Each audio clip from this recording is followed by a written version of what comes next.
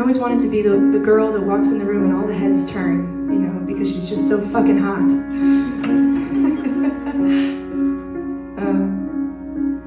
and I wrote music about it for the first time last year. It was just so healing. It's so healing to sing it for other people and realize that we're all just so hard on ourselves for, for no reason.